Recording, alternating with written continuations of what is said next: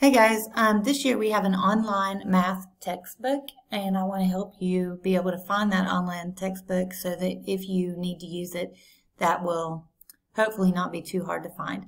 Alright, so if you go to tops.education, tops.education is our school website, and on tops.education you've got ClassLink, email, Canvas, PowerSchool, all of these links are here, easy to access to get everything that you need um, in one location. All right, so if you go to ClassLink, now your ClassLink is going to look a little bit different than mine. I have some different buttons than you, but I've got um, this new button here, HMH Ed Teacher. Now I have the Teacher's Edition. You're going to have a Student Edition, hopefully, and so I'm, yours is going to look a little bit different than mine. But I want you to go to HMH Student and click on it now you may have to register, you may have to sign in. It should be your same login. If you do, see it says welcome Carla. It knows that I'm who I am and this is my resources. All right, so I'm not sure exactly what you're going to see up here.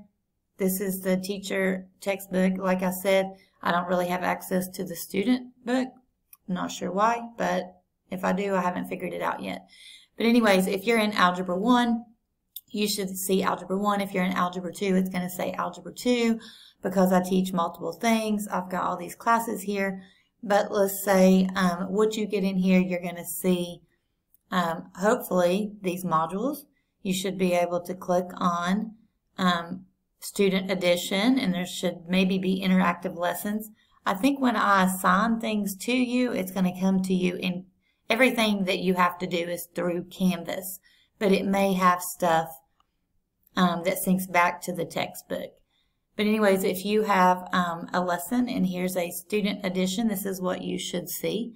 So you may see um, this is your textbook and you will be able to have extra practice problems. You will be able to find your vocabulary words if you need to know what your terms are. This is an easy place to try to get a better explanation if there's something that you don't understand. You can take notes up here if you want. You don't have to. You can change the view here if you want to see one page instead of two pages. If you want to zoom it so you don't have to strain your eyes to read it, you can do that as well. So there's several little things that you can do using your online textbook. So please use this as a resource. You will notice in some of the videos I will tell you you know, we're working on lesson 1.1.